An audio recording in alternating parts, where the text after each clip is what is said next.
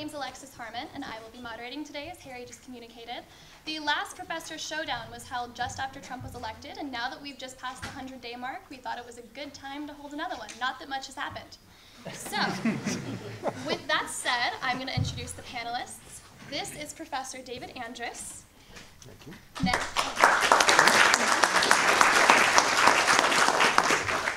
next is Dr. Deems Morioni.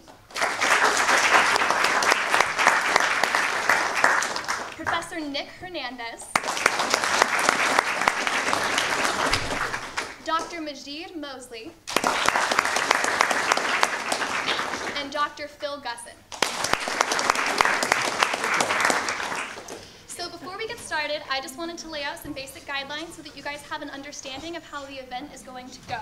So the first portion of the event will be centered around pre-selected topics. I will read the question, generally with some context given, and whichever professor feels the urge to respond may do so.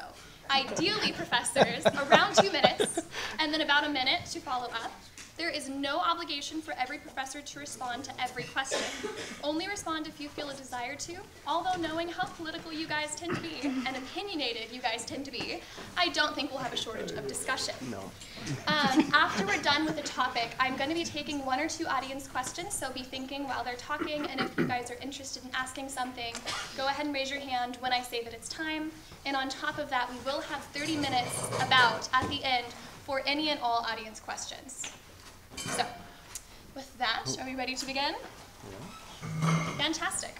Well, then, our first question is Saturday marked President Trump's 100th day in office. Do you think so far Donald Trump has left a unique and permanent mark on the presidency?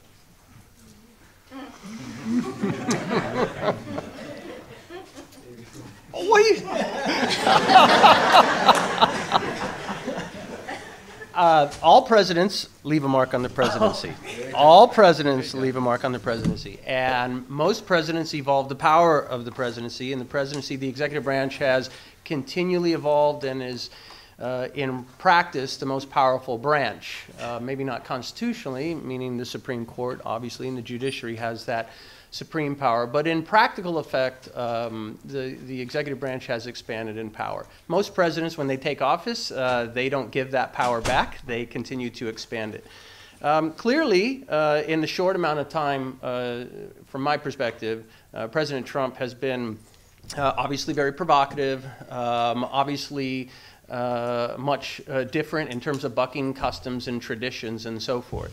Um, so uh, whether it's the kind of intersection of social media with Twitter um, and many of the other uh, avenues of, of, communication and his style and his rhetoric and his policies and so forth, um, it, it does, you know, it does obviously uh, raise the question of what will the next president be left with in terms of stylistically uh, what they're able to do and what they want to do.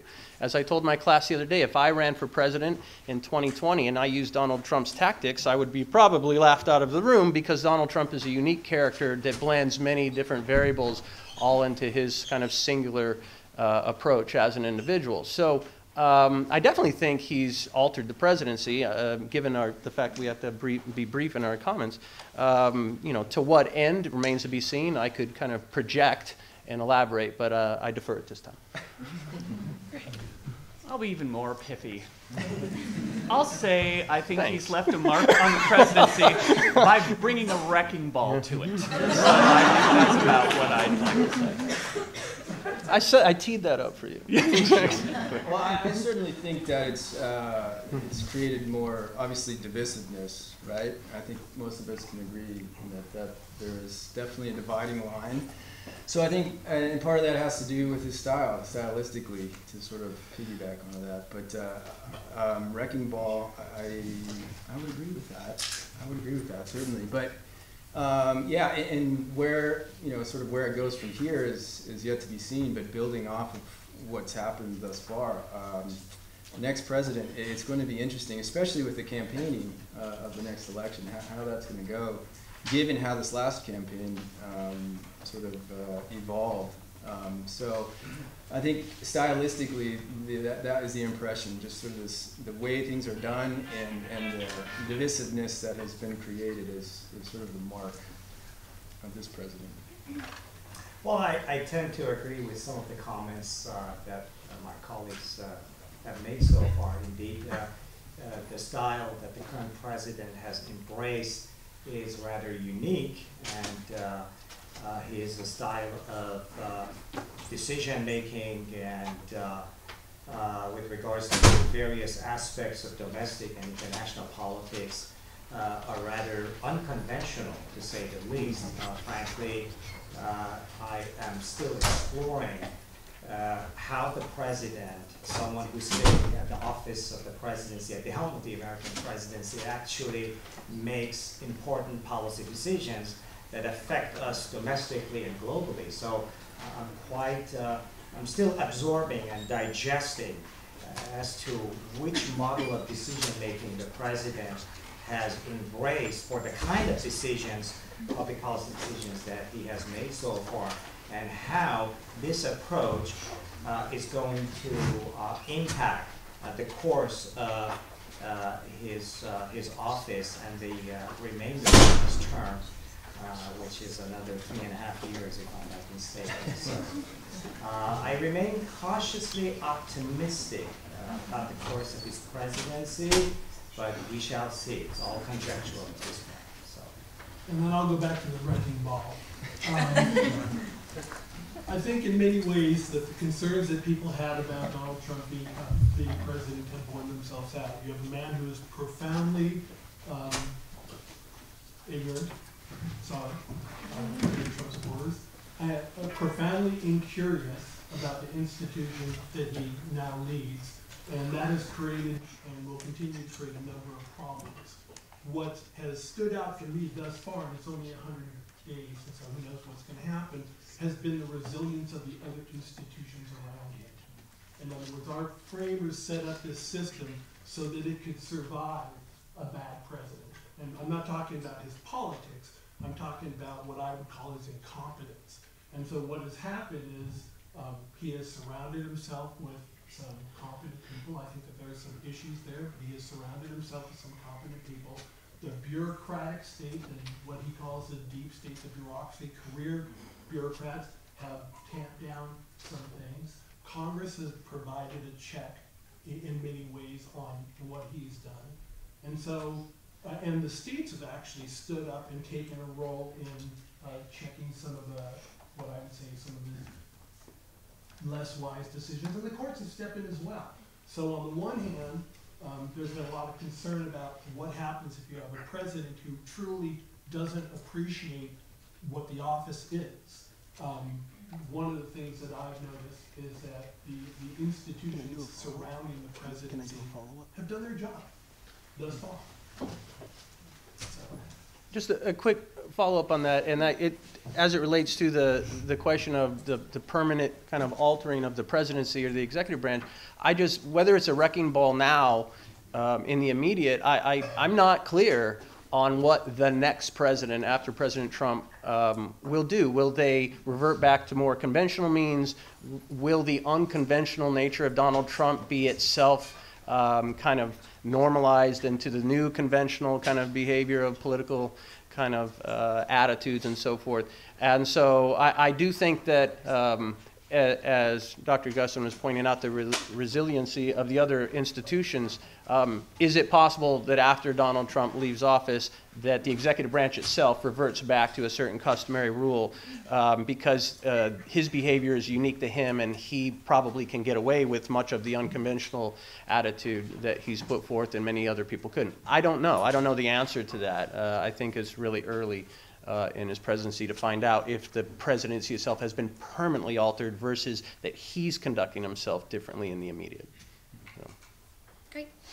Um, one thing I did not mention is that if professors start to go over their time, I will be signaling to them like this to wrap up. Um, although great so far. Good. Um, but connected to that, one way that he's speculated to be altering the office is in his neglect of public opinion. Taking into account how far he is into his term, he has historically low approval ratings. According to a Gallup poll released two days ago, he is at 54% disapproval and is pursuing statistically unpopular policies, such as the border wall, which is supported by 28% of the population. How much should public opinion really matter to a president? How much does it or should it? Should it? Um, Well, yeah.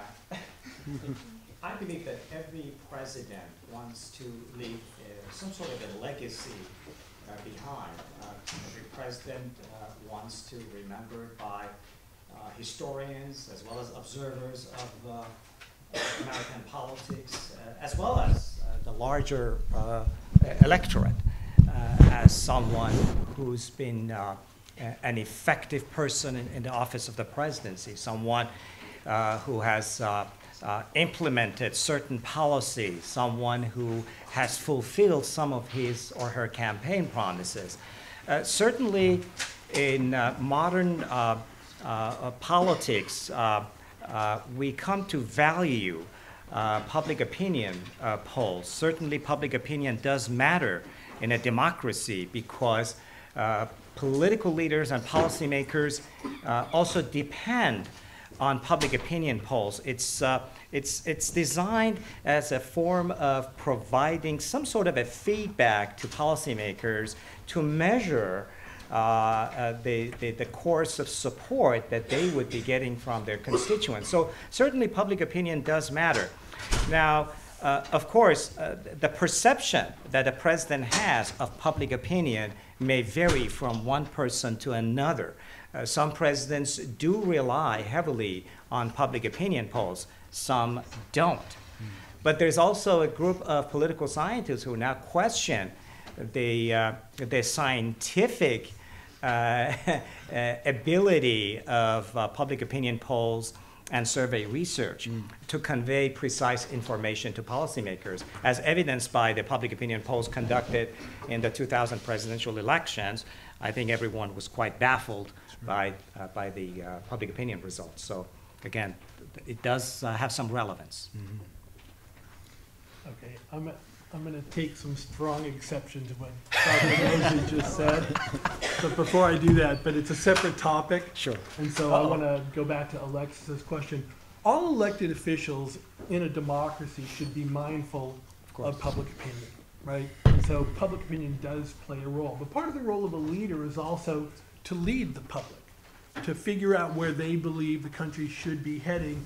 And even if you have a reluctant public uh, listening to you, to try and bring them along it seems to me that what's happened thus far is that what Donald Trump has done is he's worried about a particular segment of the public, and that is the people who have supported him.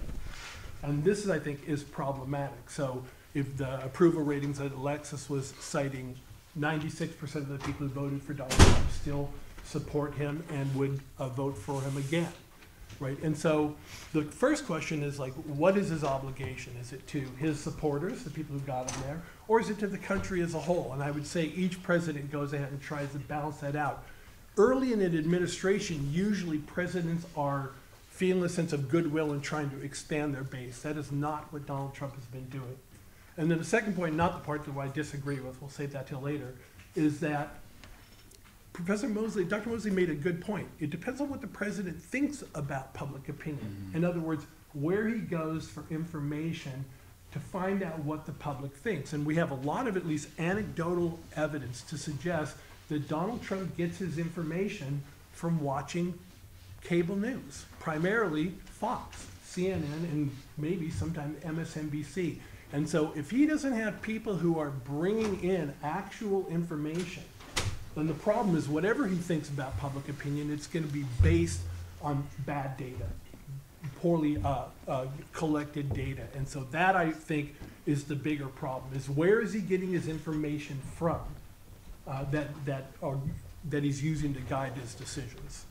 Uh, Let me just uh, uh, restate what, what I want to say as a matter of fact, and that is that presidents are expected to be the leading formulator and expounder of public opinion while sitting in office. But again, it depends on the perception of the president and how he perceives public opinion and whether public opinion is relevant to the task that the president uh, has. And uh, of course, uh, first and foremost, I think we need to establish one important fact, and that is the president has to have a vision. The president has to have certain policy skills, including uh, knowledge of public policy. The president must possess other qualities, this is important, the quality of exercising judgment, policy judgment. And again, it depends entirely on the personality profile of a president and how sophisticated they are in their perception of uh, policy issues. Well, I think, uh, given the, the, the upset that happened in the, in the election and how so many polls got it wrong, and how, you know, we were sort of, a lot of people were surprised by the outcome. And I think that gives this president a little bit of, uh, he's got this uh, chip on his shoulder now about polling. Even if the polls are showing this huge disapproval rating, all he has to say is, well, the polls got it wrong in 16, and therefore we shouldn't trust these polls. And that's not, that's not a great way. That's not a, a great way to govern necessarily. And if we go back to, uh, you know, polling after the uh, invasion of Iraq in 2003, and when it became unpopular in 2006, and uh, Congress switched hands to the Democrats, the Dick Cheney was asked by the hard-hitting reporter Katie Couric um, about. Well, we have this. That was a joke, by the way. We have this. Uh, I heard. I heard. The panel got yes, Yes. Thank you. Uh, she said, you know, there's something like 60% of the public disapproves of this war, and his response was, so what? That, I mean, look it up, right? It- He said, so what? Basically inferring that we know, we know what is best for all of you, and therefore we should be able to make the decisions. And that is a really dangerous line uh, to sort of cross, and, and if that is, is, uh, if the presidency is built on that attitude, um, and, and if people aren't getting involved, you know, then, then that's how decisions are going to be made is, well, we know what's best for all of you, therefore this is how we are going to decision make or how we can respond to these things. So, uh, I mean, I think obviously the public has to take an active role in projecting what it is that they want. Uh, otherwise, yeah, then we would rely on what the president sees, sees on Fox and Friends or CNN. So uh, we have to be careful of that, I think. I thought for sure Phil was going to bite at the insult paid to survey research, but he didn't. No, no, I'm waiting. I'm Oh, you're waiting, okay. Uh, So I will skip that. But uh, I I will say, what I find distressing about how, uh, th- how uh, President Trump looks at uh, public opinion polling is that he he seems to view it through the lens of, it's all about me.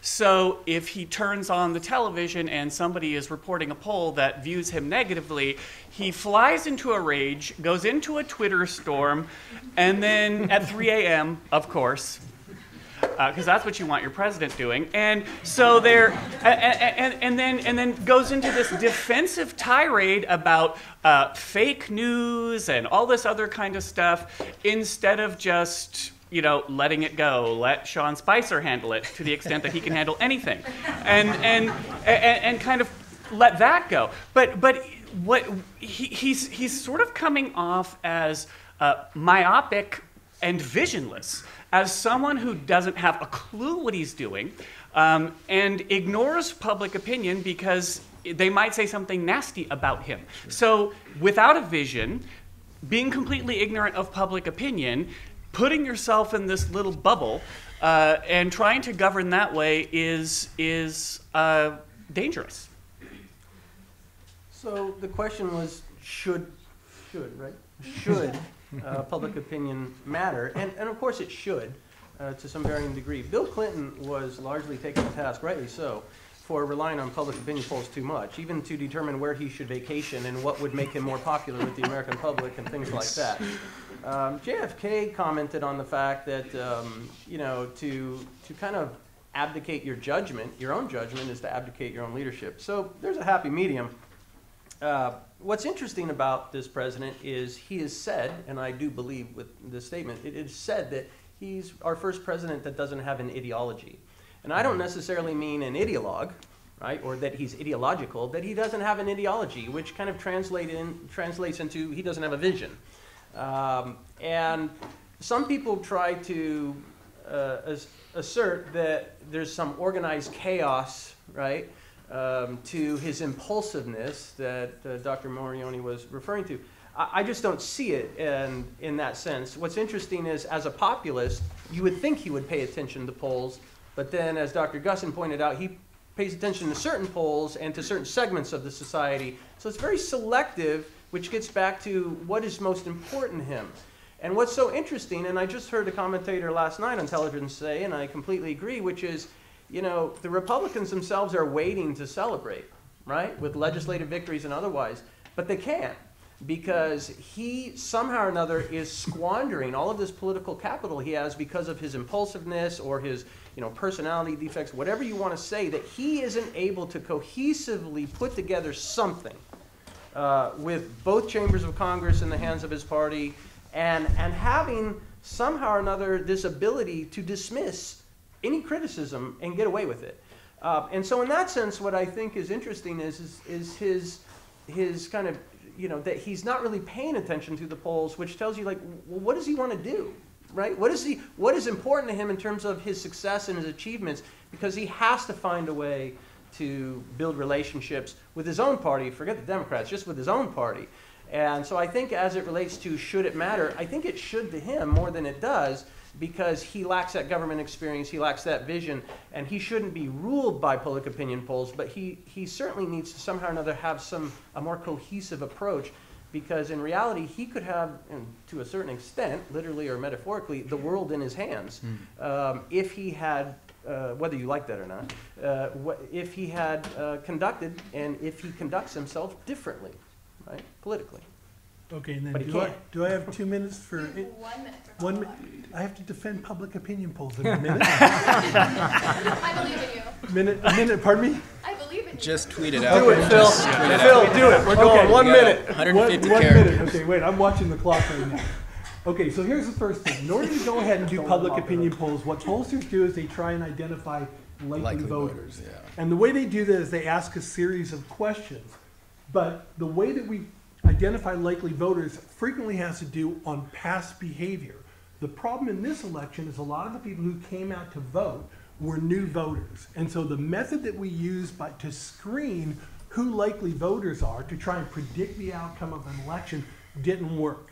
That's not because polls don't work. That means that our method of identifying likely voters wasn't didn't fit here. So what needs to happen is not that we go polls no don't work. We let's throw them all out. We need to modify our methods, improve our methods, which is something that political scientists are doing constantly. So throwing out polls is throwing out the idea that random sampling works and it works. The second thing that happened with the polling, and I hope I'm close, is that as many of you know, 11 days before the election, uh, the FBI director uh, went ahead and announced that Anthony Weiner uh, had a laptop and there were emails on it that went ahead and were uh, sent to Hillary Clinton, and so they had to investigate it. So 11 days before the election, do you guys know who Anthony Weiner is? I don't need to describe Anthony Weiner. Okay. He's So, infamous. 11 days before the election, he says, we've just found all these, um, all these emails.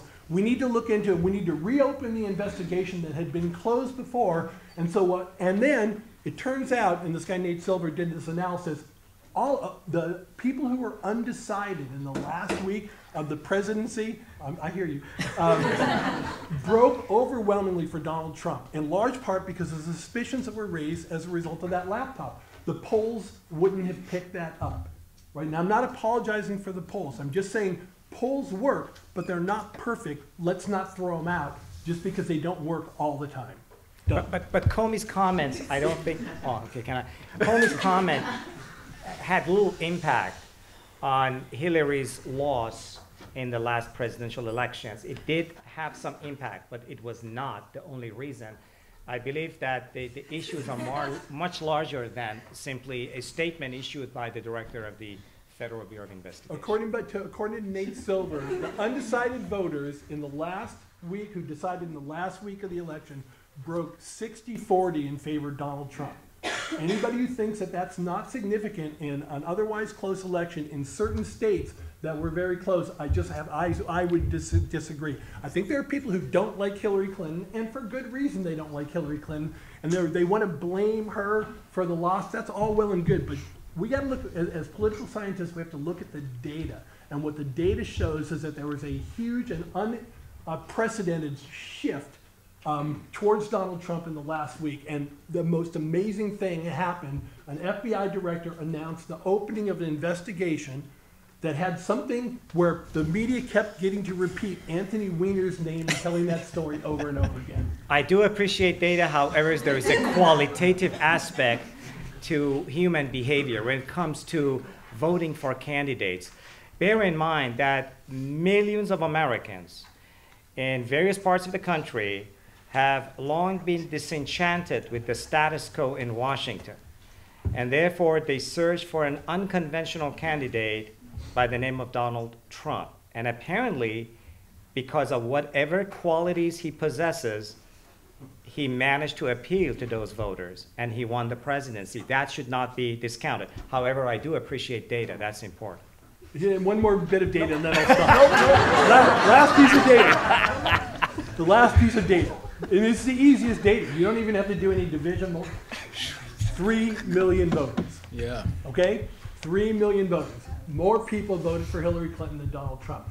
Doesn't matter because we have the Electoral College. And, and, and I'm one of those people who thinks the Electoral College actually does some good things. So I'm not one of those people who thinks we should abandon the Electoral College. Leaving that aside, the idea that she was a dismal candidate and didn't have support, there's just, to me, the votes are the votes. And so I'll leave it at that. And we'll, Great. in 200, come back for the 200 day debate. There you go. Oh my goodness. So we did go quite a bit over on that. So I'm I'm, only going to be able to accept one question, but does anyone have anything that's just burning that they want to ask that hopefully won't reignite that? Are we good? Okay, yes?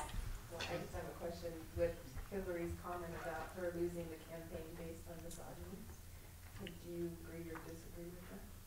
Well, I mean, I think any female candidate is judged by a different standard than a male candidate. I mean, I just think that that's baked into the cake. But in many ways, that's something that she's going to face and any female candidate is going to face. And so if you're not prepared for that, you're not prepared to run for office. And she I had, uh, mean, un- sorry. Unfortunate fact. And she had three. She had Comey, Russia, and misogyny. So you know, there's like evidently there's a combination of the three that. But, but I also have to say that in Hillary's case, it, it, there are so many variables impacting her loss and her candidacy that um, if you look at any subcultural group or subpocket of American culture, um, any of those variables are going to bear out to be true. Um, which variable was the tipping point? I mean, that, that is, there are so many issues related to, to Hillary Clinton. I- uh, even if some of them are not necessarily fair, right?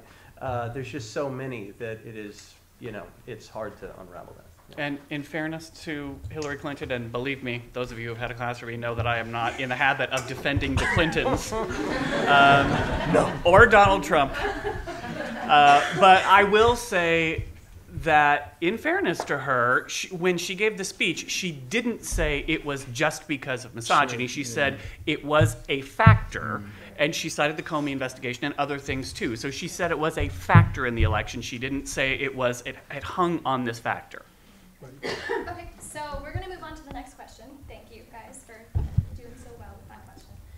Um, so, Trump has been consistently trying to warm relations with international strongmen with controversial human rights records, such as Russian President Vladimir Putin, North Korean dictator Kim Jong un, and Filipino President Rodrigo Duterte. Do these alliances offer tactical or regional advantages to the United States? Oh, I think in the case of Duterte, I think that's what he's hoping is going to happen. Uh, the conversation he had was, I guess, a sort of lukewarm invitation to come to the White House. Is that what happened? With the sort of uh, the final outcome as being uh, giving him a little bit of leverage, um, but uh, I don't. I, I was talking to my class about this earlier. I don't know if President Trump thinks that far ahead. I don't know if that's the chess game that he plays. Maybe his advisors do, but um, I mean, that would be pretty incredible if he's looking at the Philippines as a piece of leverage. That, that you know, I don't. Uh, and I don't think you can ignore the human rights violations in any of those countries in order to, uh, you know, get some sort of uh, deal somewhere else. I don't think that There's, there's some, there's some analysis that the uh, Philippines don't really have much of a relationship historically, Right. obviously, with North Korea to help, to help out. So what is the vision in doing that? What's interesting about um, Donald Trump's kind of remarks and his embracing of these various leaders is that anyone that studies American foreign policy, foreign involvement, entanglement over the past 80 years understands the United States tacitly supports all types of strongmen. They support them with all types of covert and overt aid uh, from a political realist kind of cost benefit analysis. Um, we cited Saddam Hussein was our friend.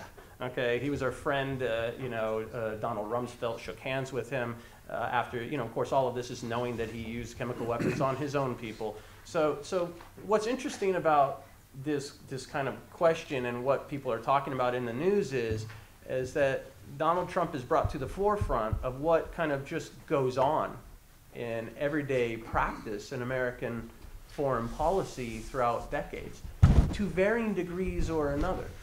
Um, and so the question is, is that um, is it is it tactically good, right?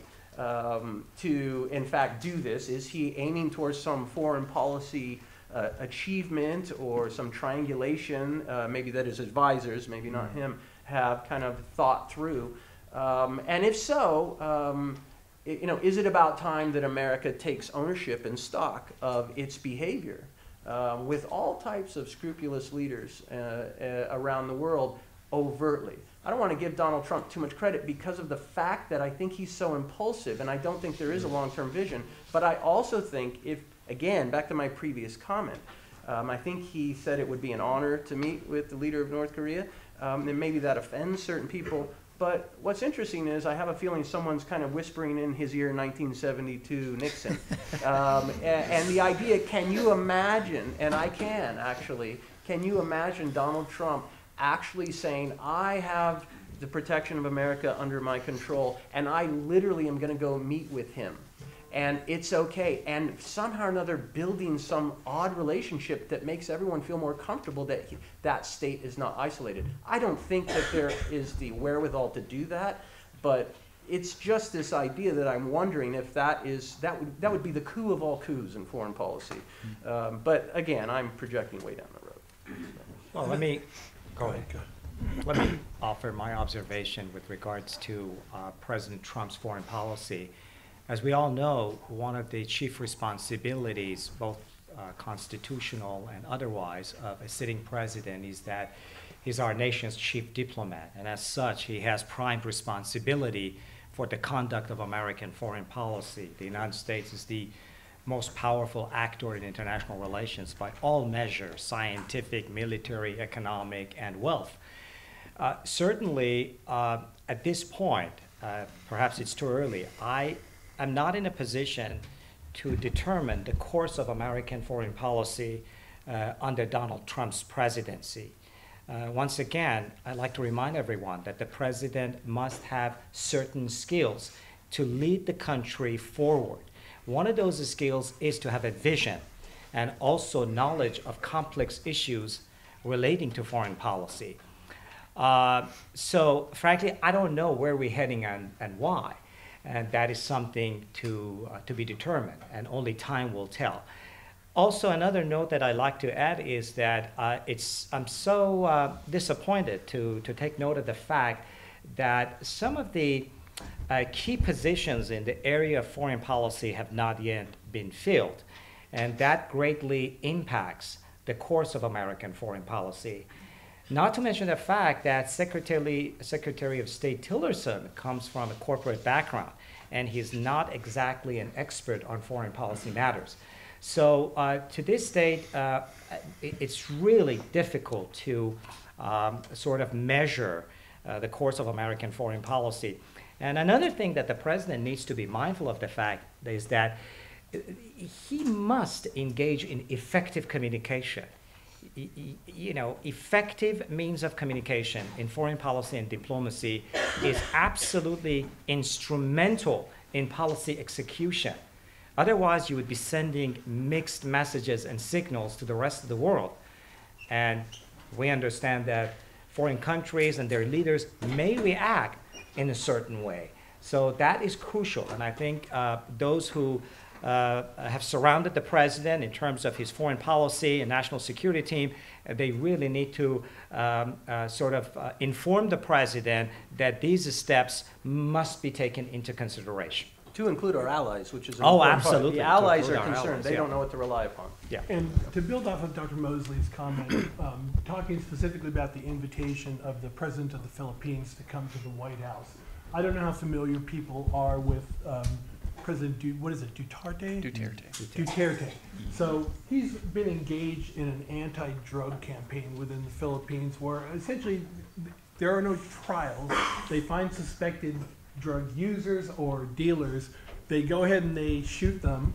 And uh, in some reports, they take a piece of cardboard paper and write their alleged crimes uh, on them and just leave them there in the streets for people to see. So this is who we're talking about getting back to, to Dr. Mosley's point, in the State Department, the State Department is like a ghost town. Usually it's filled up with people who are specialists, specialists within certain regions, specialists on certain issues. And so if the president is going to go ahead and he's going to take a phone call from the president of the Philippines, what he does is he confers with the people in the State Department. They talk about this vision that we're talking about, where we want to go um, in our relationship, and that guides the president in his discussion. The State Department is basically empty. Rex Tillerson is still learning the job, and President Trump gets on the phone and talks to him and relies on his gut to go ahead and say whatever he's going to say. I'm sure the people who are in the room are just as surprised as everybody else when they say, did he just invite him to the White House? Right? That's the way things going. And that's a problem. The, the reality is, is that being president is an incredibly complicated job and uh, international relations and foreign relations is an incredibly complicated thing where nuance matters a lot. And what we have is a president who not only has no nuance, but sort of um, looks down on nuance. He's all about, let me just be, make, say the most bold, blustery thing. Thus far, that has not caused a major problem. Thus far, there's been no major miscommunication that has elevated a crisis.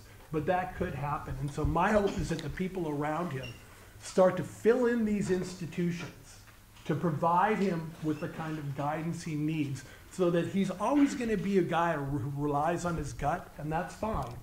But he needs to have more of a scaffolding around him about where American foreign policy is, what our direction is, what our plans are, what our goal is, what our vision is, and what we're trying to accomplish. And right now, that's missing, and it's scary. Yeah, and I don't think we're likely to get one, because I, because I, I, I don't think he has any idea what he's doing, and, and he's, he's having a lot of people, especially at the State Department so far, who really don't know what they're doing. And you can see this uh, buddying up to dictators around the world is not helping our image, um, and it's not winning us any friends either. Um, and you know, the rest of the world, in terms of foreign policy, seems to be playing chess, and he's barely playing checkers. So I think, I think uh, something else that's that's really concerning is the, the dictator thing does worry me. I mean, Duterte and and you know, uh, Putin and and and uh, everybody else. He's uh, you know Kim Jong Un, all the other. Uh, uh, uh, uh, strong men that he's smiled on but it's not just that he smiles on dictators who are currently in power. He's smiling on would be dictators, on people with a strong fascist streak. What really worried me last week was when he started expressing support for Marine Le Pen, who is running for president of France. Um, you know, I'm not going to code it. That lady's a kook.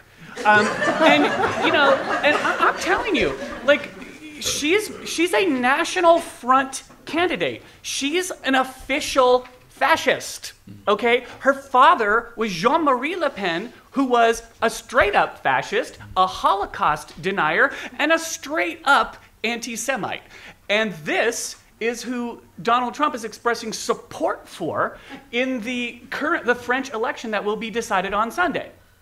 So uh, I think we need to see a little bit, as, as Professor Gussin pointed out, we need to see uh, a little bit more nuance here. We need to have some specialists at the State Department who know what they're doing, and we need to break all of the communication devices that Donald Trump owns so that he does, is not able to tweet out support for lunatics and dictators. I actually want to change the topic to something you just touched on, the French election and uh, nationalist push. Um, but given Brexit, Donald Trump's election in America, Geert Wilders' defeat in the Netherlands, and Marine Le Pen's upcoming election battle in France, it's apparent that the jury is still out on nationalist populist candidates. So, regardless of whether they're successful politically, the base still exists. Should governments be wary of growing nationalism, and how should they respond to that, if so? Can I take it? Yes. I'll go first. Because you know what? I think there is actually, um, going back to, to something that the French philosopher Jean Baudrillard uh, identified in the 1990s, that you're not really seeing um, uh, coherent ideologies battling it out anymore. Since the end of the Cold War, there, there aren't hardcore sort of committed ideologies left. What you have is what Baudrillard terms system and anti-system. So there is the global economic and political system as it exists. We are all part of it. And then there are these forces that are trying to tear it apart because, let's be honest, it's weak. And that's partly because of, of the economic problems that globalization has left millions of people behind. And in our own country, that's also true. Um, and nobody is working on this problem. You know, that's why the president come out and say he's going to bring back all these jobs, which he is not going to bring back because he doesn't have a magic wand. And he's not going to bring back defunct jobs from industries that no longer exist. They're not coming back. They're never coming back. That's a fantasy. And so, but we're not the only country that's having this debate. This debate is very much at the center of the French election. So I think you're seeing some countries have drifted off into the nationalist direction. Ours has sort of stumbled into that, as did the British.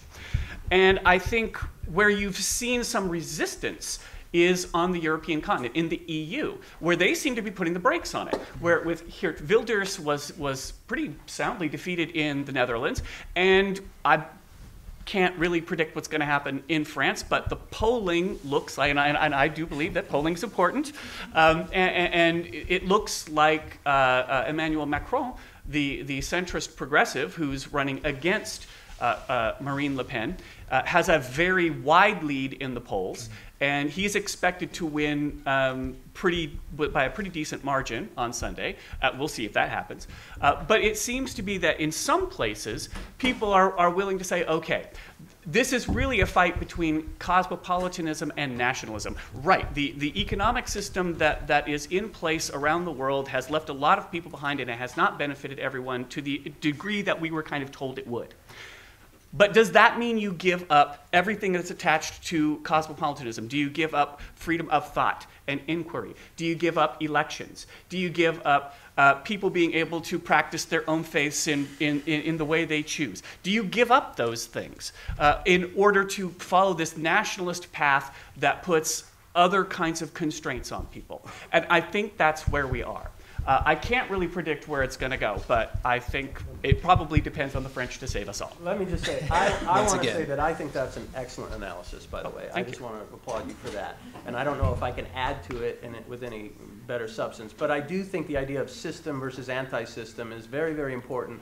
The, the post-World War II international system, Bretton Woods, you know, all of the international regimes that have been set up um, to include the, you know, that, you know, obviously other factors, the end of the kind of bipolar Cold War, um, and the system of power globally has resulted in a disparity of wealth, a disparity of opportunity, a disparity of life's experiences throughout uh, Western civilization, okay? Not just the globe entirely, but Western civilization. And I think what's really interesting, and I've mentioned in previous panels, that I think this idea that uh, people that are nationalists or populists and, and pro Donald Trump, not all, but a huge segment of them, are just unhappy with the system and they just don't feel like they're getting the, the benefit or the reward from that. And I, and I actually think, not entirely, but in certain important ways, Bernie Sanders supporters and Donald Trump supporters, if they could just remove the personalization of the politics in the discussion, remove the name of Hillary Clinton and Donald Trump, and literally talk about what they want out of their life,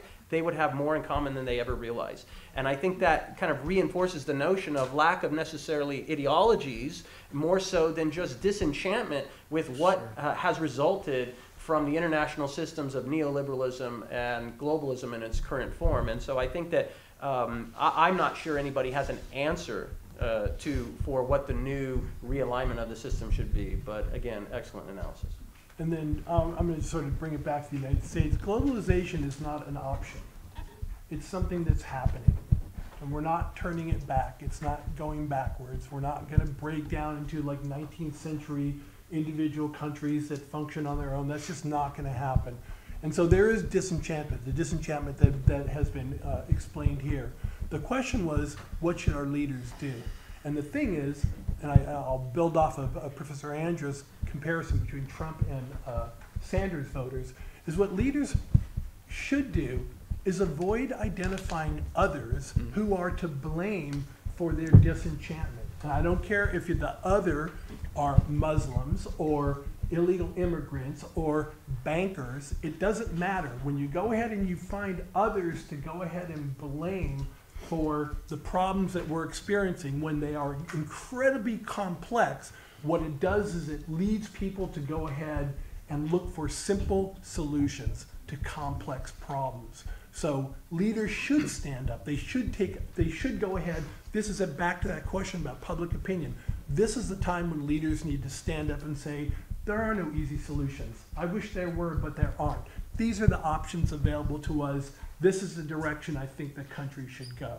And so I think we, globalism isn't an option. It is something that's happening. It's going to happen. It's happening in our lives. It's going to happen in your guys' lives.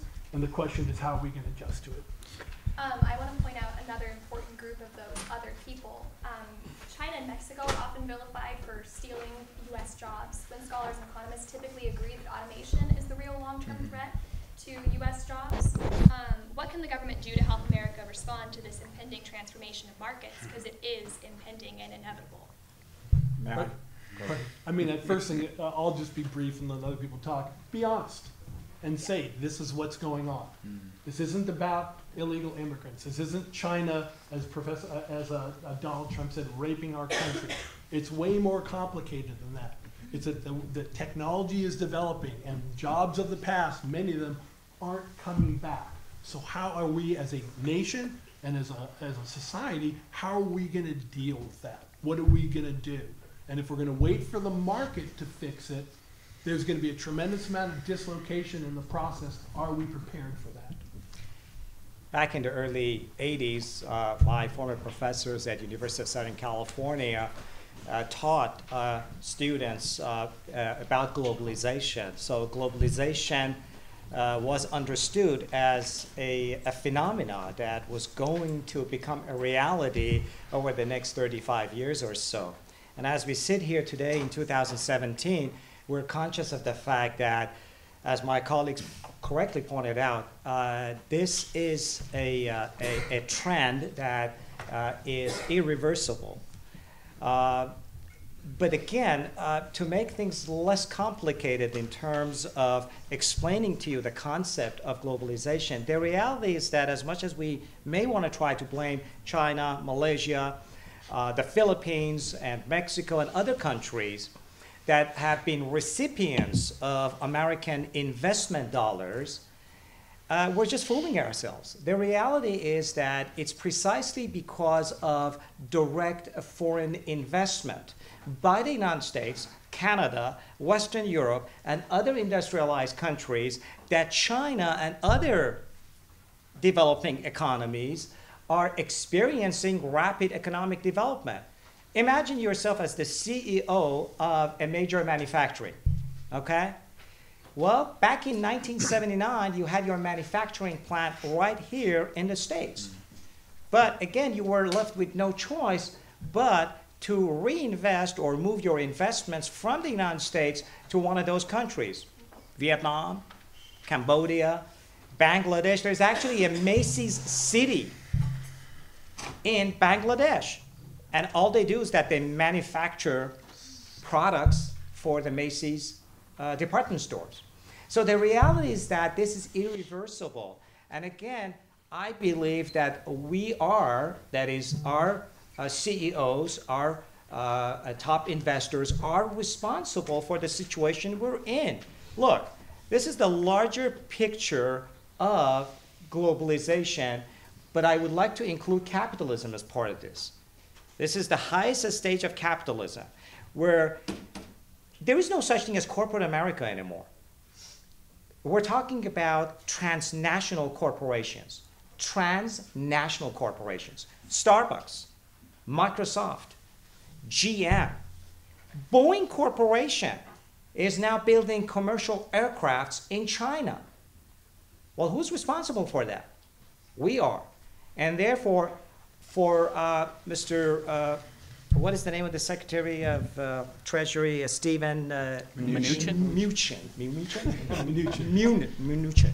Mucilus. For him to say that he wants to correct the problem, I think that's disingenuous. It's, it's, it's, it's, it's a statement of falsehood. You cannot be a member of corporate America, that is assuming that corporate America exists, and claim that you want to reverse the course of globalization and bring jobs back to America. It's highly unlikely that any of these big corporations would divest from China and other countries and bring those manufacturing jobs back to the United States. It's highly unlikely. You can email me in about five years to confirm that. So what are the consequences for the US if we do not adjust to that? Depression? A lot of unemployment. Bankruptcy? Yeah. So, I, I, I, I want to make a few comments, uh, maybe I can answer that in this, and that is the current, I agree with everything that's been said. The current pace of globalization is not sustainable. It doesn't mean globalization isn't going to be here, it's just that in, in its current form, it's not sustainable. Um, technology has just outpaced politics, it's outpaced law, it has outpaced economics. The, we're in the middle of a technological revolution that is the beginning. We're not even in the middle. And, you know, just from a legal standpoint, legal Supreme Court or appellate court holdings, they just aren't happening fast enough to define behavior in society as it relates to a lot of these new nuances and dynamics and so forth of uh, as technology plays out in terms of civil liberties or what have you. But as it relates to economics and automation and politics with Twitter and Donald Trump and that connection with the electorate and so forth, it, it is just taking off and there's no stopping it. And so the question is can these other systems that are in fact, getting back to systems, that are in fact necessary for positive human existence, can they catch up to that? And, and I think that, um, uh, you know, Dr. Gussin said we should be honest, and I, I, I don't disagree with that, but I have to tell you, I think, I think they're afraid to be honest with you, meaning leaders. I think they're really afraid. Uh, because uh, Donald Trump, Hillary Clinton, Democrats, Republicans, they have apparently no plan to deal with automation. Uh, and if they do, uh, they're not rolling it out and they're not, you know, sounding the alarm bell. And maybe they shouldn't. Uh, and I've mentioned this story multiple times in various forums. But there have been various meetings of European business leaders among their shareholders and, else, and, and others uh, where they have been asked, why haven't you fully automated your plants more than you already have? And their response was, is that if we did that, there would be social unrest within days because of the displacement of workers, and the economy might very well collapse immediately. A- and so, the full, just as it stands now, the full, the full uh, capability of automation is not even being implemented. They're holding back on it. And so, what should the government do? The government needs to, obviously, they need to be honest with themselves and they need to have, have some brainstorming. But I am sorry to tell my libertarian friends out there and else uh, that there is going to there's going to have to be some type of social even if it's temporary safety net to deal with displaced workers so that it doesn't fall in back into the uh, uh, kind of disenchanted aggrieved group that actually cannot be retrained within their lifetime quick enough to make their life sustainable and meaningful as Americans the way the myth has told them that they have that ability. And that's true in other countries. So we are, um, we're at a moment where the best and the brightest need to get together and have a plan and stop being ideological and use the best of market forces and use the best of government forces, forces to get together and deal with the problem rather than digging in and being ideological. I think that's true because an, an, I was reading an article this morning about they were talking to this um, specialist in uh, uh, uh, addressing future job needs. Um, and he works, he, he would not be named, and he would not name the corporation he works for. And he said, they, and the question was, uh, what do you think that we should be telling, you know, the millennial generation? What kinds of skills? Because it's very clear that certain kinds of college skills that they've been told they need to have are not going to pay off for them in the future. Um, so, what kinds of skills should we be telling them? And you know what his response was? Are you serious? What jobs? So yeah, okay, I didn't really want to freak you out, but but that is but that's mass but yeah, yeah. but that but that but I mean keep in mind okay so and I and I've brought this up before and my students have uh, who've heard me say this a million times but but you know it just was last year the year before when Volkswagen produced that that factory for for manufacturing cars a, a car plant that used to uh, was like 10,000 15,000 people and now is run by 5 people because that's all they need to most of those those jobs that used to that fueled the the, the post-war boom for the middle class in this country those jobs no longer exist. They're no longer going to exist. There is no way to get them back. And the only kind of future we're looking at is fewer and fewer and fewer and fewer jobs. This isn't an American problem. This isn't has nothing to do with China or Mexico. This has to do with, as Professor Andrus said, this is being driven by technology, and it has outpaced our leaders' ability to adapt to it. We have to find a way to adapt to it. That's the real problem, and it's not ideological. Okay, and then two quick points, and that is, if you're trying to get your mind around this idea of automation, just imagine what happens when they perfect uh, self-driving vehicles and all the jobs that get lost as soon as cabs aren't needed, as soon as Uber isn't needed, as soon as trucks delivering goods aren't needed anymore. Just with that one technological advancement, the number of people who get displaced and who are out of work as a result of that just skyrockets. Something serious to think about. The other thing is, I know that the theme of this is the 100 days, you know, of the Trump presidency. But if Hillary Clinton was president, everything that we just said would be just as true. This has nothing to do with Donald Trump. This has nothing to do with uh, who's president right now. These are forces that are moving on their own, regardless of who's sitting in the White House at any point in time. That is precisely why I propose that as citizens, we need to be not only well informed people, we need to become more better informed and also more active political participants because this is the future of America we're talking about. This is the future of the world. And it's important for us and for our leaders to have a vision for this country, to have a, uh, a, a, strategy, a, a grand strategy for the future. And we also need to instill a sense of appreciation for uh, America and protecting American national interest. I'm sorry to say this, but I'm of the opinion that many of our corporate executives, and I don't have any data to support my claim, but many of our corporate executives uh, have no sense of loyalty to America because to me, protecting American national interest is the most important quality that a person, a policymaker, must possess. And unfortunately, that is a rare commodity. Uh, and that is one of the reasons why a segment of the American uh, electorate uh, has become uh, more of a nationalistic uh, person because they're now thinking, well, I cannot fight globalization. I cannot bring those jobs back to America. But what can I do? To protect my turf? What can I do to protect American national interest? And then some of these voters have put their faith in some policymakers, in some individuals um, who may not even have a vision for this country.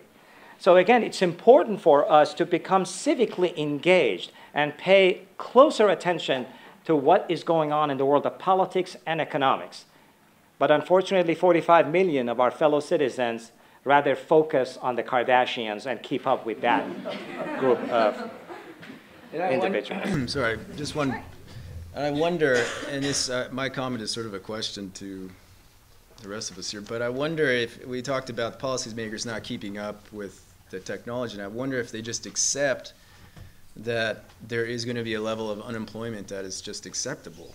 I mean, I just wonder if they, be- there's no policy there to, to solve the problem, so they just assume, rather than them just not having a policy, they just assume, well, there is a level of unemployment that will just be societally accepted, and, you know, there are some people who aren't gonna be employed. And so rather than having a, a policy to fix that, they just accept that there will be that level and, and make decisions based on that, rather than having to come up with a comprehensive solution to, to all this. And again, I don't know, but I wonder if there's a level of acceptance that we're not really trying to figure this out. We just are going to accept that there is nothing that guarantees full employment in the United States. And be reactionary as opposed Right, to right. proactive. So, Okay, does anyone have anything to respond to that, or may I move on? So that is very, very important, but I want to get to Syria before we run out of time. So, um, just a quick rundown for those of you who don't know the details. It's been going on since 2011, and there have been an estimated 400,000 civilian deaths thus far. Donald Trump originally contemplated allying himself with Syrian dictator Bashar al Assad in order to fight ISIS. However, when Assad used a gas attack and killed at least 70 civilians, Trump declared his actions as something that cannot be ignored by civilized society and launched 59 Tomahawk cruise missiles that targeted the planes that had been used in the gas attack. So, is Assad's gassing 70 people recently or the 400,000 civilians dead so far worse? Why change policy and respond now?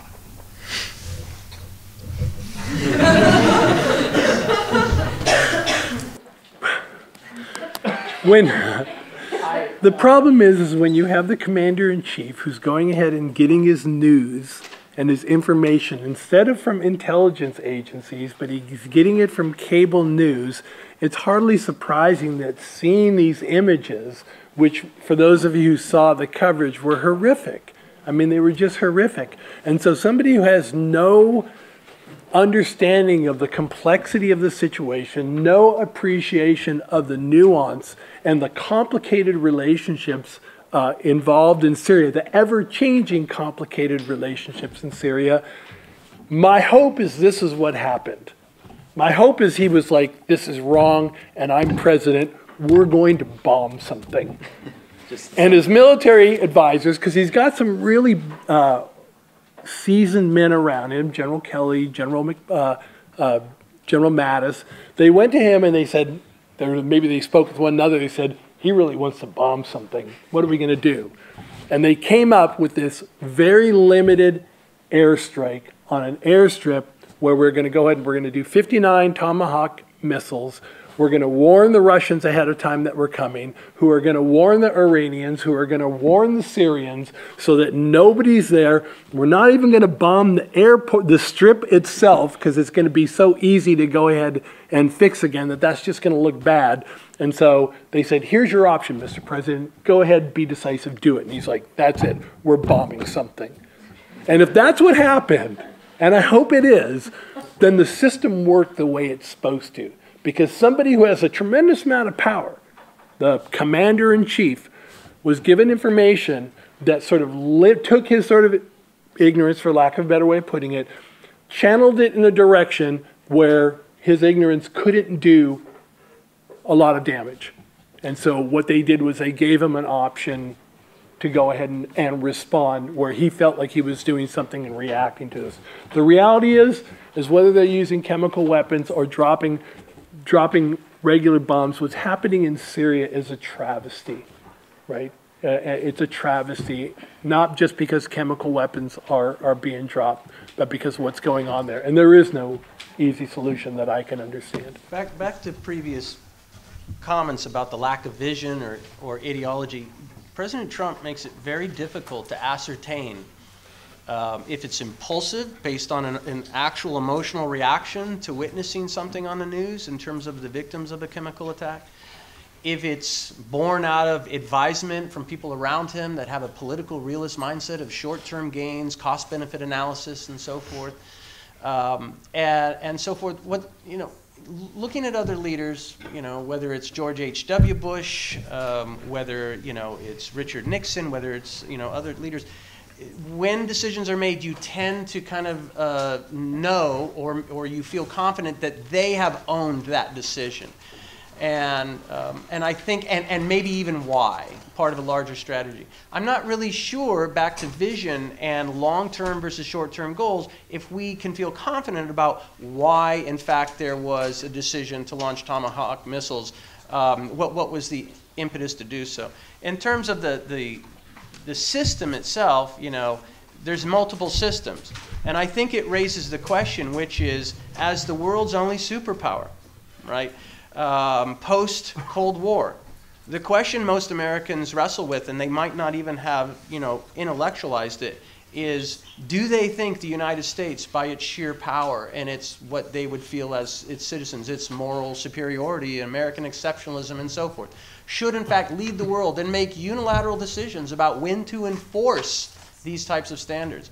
Or is there somehow or another in the larger global system an acceptance of international law and how we go about making decisions of when the most powerful countries decide to take military action against another sovereign state, even if that sovereign state is broken into many pieces in many ways. So I think we don't know uh, with any president, but with this president in particular, was there a domestic consideration of politics? Was there a regional consideration in terms of an alliance um, or some type of recalculation of what might better the United States' foreign policy position? It's very, very confusing, but uh, uh again, uh, for me, the bigger question for Americans is do you think America should take, even if its own customary system of decision making is kind of leads us to this type of action, do you think that that's what America should do and be in the world? Or do you believe in the post World War II system of international law and collective decision making? Um, which has never been completely solidified and agreed upon, but yet is kind of part of all of our generations that we've all been brought up and born with. And I think with Brexit and nationalism and a lot of these other things that are happening, these are the larger questions. I certainly uh, welcome President Trump's action in Syria. Um, of course, there has been uh, a vacuum of uh, power uh, by the United States in the Syrian conflict. Certainly, the former president uh, is responsible for that vacuum. Certainly, the Obama administration did not propose a grand strategy vis-a-vis the Syrian conflict, and therefore the the Russians as well as the Iranians and other actors in uh, in uh, Syrian civil war uh, took a greater role in shaping uh, what has happened in Syria. Uh, but certainly, uh, as much as I welcome President Trump's action, the military strike in Syria, however, I think the credit goes to the military planners, particularly the top uh, military commanders as well as middle range officers within the military establishment. I think they exerted tremendous pressure on the chief executive to finally uh, react, take action, and send a powerful message uh, to the Syrian dictator that uh, enough is enough. Uh, but again, uh, it, I, would like to go back to my earlier comments, as well as in support of President uh, uh, Professor Andrus's comments that I wish you were at the helm of the presidency. Uh, that, that certainly we don't understand as of now what model of decision making the president is following. Um, so that remains to be uh, to be seen. Sure, and I think uh, since then, since the bombing, there hasn't been a cohesive mm-hmm. policy in place, and so, which leads me, and I've spoken to students about this a little bit. Uh, I mean, it, some people have been arguing the reason this happened at this time because the question is why now. Uh, some people argue that it, it was because to distract the public from the Russian investigation into the election and I mean, we know that this is stuff like this has happened before. Some people argue the reason why Clinton uh, bombed the Balkans with NATO was to distract from the Lewinsky scandal. So uh, I don't think that you can leave that aspect out of it. Out of it, uh, considering what 400,000 people have died and uh, were were being killed prior to this chemical attack, and and the fact that there hasn't been more policy, more decision making since that particular bombing. So, uh, that you know, I don't know, but I think it's something that we have to consider. Uh, Yeah, I think, um, I wish I had the answer to this problem. I'd have a Nobel Peace Prize if I did, but it, I don't. Uh, and, and I think that's part of the problem that the Washington consensus doesn't either. And I think uh, Professor Hernandez makes a very good point about I don't think you can count out the fact that, you know, if, uh, answering the why now question, um, you know, the, these 400,000 people were already dead. That country is, is a, an, an active war zone. Why now? 59 Tomahawk, Tomahawk missiles that did absolutely nothing, as Professor Gussin pointed out, didn't even hit the runway. Uh, so it it looks like a kind of a PR move. You could just as easily make the argument uh, that it was a distraction, uh, as you could even say, if you wanted, uh, that uh, because this is this is a, a rumor, a Washington D.C. rumor that that Donald Trump had no idea what was going on in Syria until Ivanka went and showed him gruesome pictures, and so so he could have likely uh, commanded the strike because it made Ivanka cry, and that's the only yeah, and that's the only kid who likes You don't do him of his. So so yeah, yeah, and she's the brains. So so yeah, yeah. So what so so if he gets upset, you know, about Nordstrom canceling her line, so are we going to bomb Nordstrom now? I mean, so that's that's uh, there's no cohesive foreign policy uh, uh, uh, coming out of this administration, and what worries me is that the, the Syria problem is only going to get worse, and nobody has a solution to it. And this problem just keeps getting worse. And, and it's not simple enough to say, well, let's just yank Assad out of power. Okay, so do that, and then watch the entire thing fall apart, and it becomes a haven for. It's already a haven for ISIS and Al Qaeda and other, and the Kurds have their own thing going on, and then the Turks always want to get back, and then the Israelis over here. Everybody has an axe to grind in Syria, and they're all doing it. How do we make it stop? I don't think anyone has the answer, and I don't really think anyone's trying to find it either. Well, as a major global power, the United States does have international responsibilities. Um, and certainly, um, I would hold the previous administration also responsible uh, for a lack of uh, a cohesive policy vis a vis uh, Syria. And that is, uh, I think, uh, a, major responsibility that the former president failed to, uh, to execute. Um, so again, we have to be mindful of that as well. I want to make one uh, just comment about the idea that, that President Trump is very provocative in many ways, and so sometimes there's this kind of fog and screen around uh, analysis and kind of just looking at things as much as possible in isolation as an, an American action as opposed to a Donald Trump action. So if I go back to Ronald Reagan, Grenada, and other military actions, if I go back to Bill Clinton uh, during the Lewinsky scandal, and, you know, I don't, it was uh, Operation Desert, I don't want to say Fox, that's a Rommel. I forget the name of it. But there were, there were certain short-term military engagements that were questionable in terms of whether they had a domestic uh, attribute to them or whether or not they had short-term, if any, uh, positive consequences to American foreign policy. And so um, this is this is not uncommon in American history uh, to have these types of isolated uh, events. And um, i i in connection to Donald Trump's larger kind of uh, phenomenon, it, it just makes everything much more blurry for so many people. Absolutely. So we're going to move on to a different format now for a brief section. It is going to be only yes or no answers. Oh my God. So after we've gone down the line of the panel from each side, you can take a 30 second position. So this is just really getting down to the principles of things. And it's only three questions, so we're just Is it yes or no, or we get 30 seconds? Yes or no, and then once we've gone down the entire Oh, okay. panel, one person from each side. Okay. Whoever Oh, okay. feels very much propelled Oh, to God. Oh, Okay. So, Not me. Yikes. we'll start with Professor Andrus on the first question, and then we'll go the opposite way on the next. Okay. Okay. So the first question is, does the government have a responsibility to provide some form of universal health care? Insure or provide? Provide. Oh, man. Yes, but I would change the word to insure.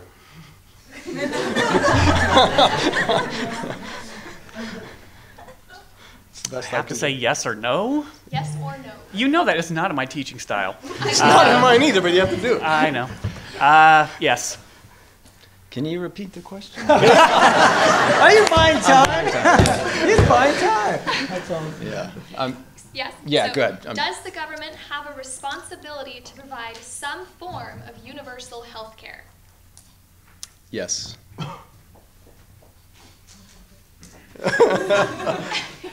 No.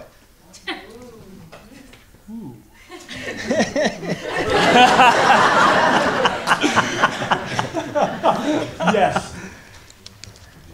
That was my conservative part coming out. So I'll let you begin, um, Dr. Mosley, since Oh, you're on me? that side. 30 seconds. 30 seconds, go.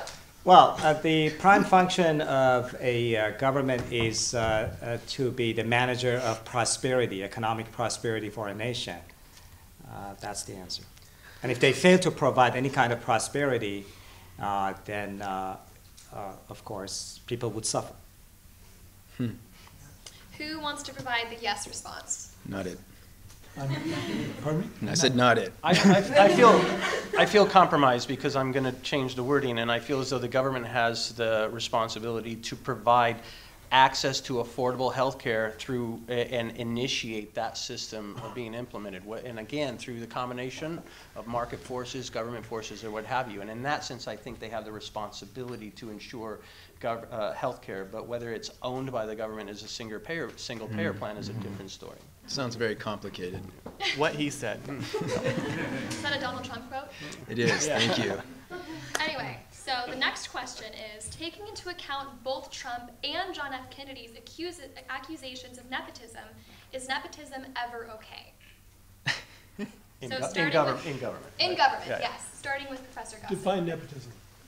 Um, the practice of those with power and influence of favoring relatives or friends, especially by giving them jobs. That is the dictionary definition. Okay, good, good. Okay, ask the question again. Taking into account both Donald Trump's and John F. Kennedy's accusations of nepotism, is nepotism ever okay in government? Yes. It's A definite no.